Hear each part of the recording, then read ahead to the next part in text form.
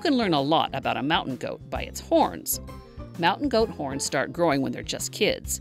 As adults, mountain goats' horns are thin and about 8 to 10 inches long. Male and female mountain goats have slightly different shapes of horns. Male mountain goat horns are thicker at the base and sweep up into an arc.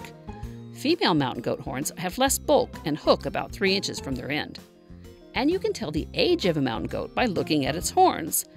Seasonal rings form on the horns each year, so a mountain goat that's two years old has one ring, and a goat that's three years old has two rings, and so on.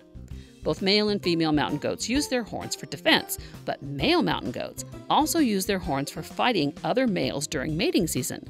But instead of butting heads like mountain sheep, mountain goats aim their horns at the other goat's sides or back to show who's boss. For more information about mountain goats, check out the Science Trek website. You'll find it at sciencetrek.org.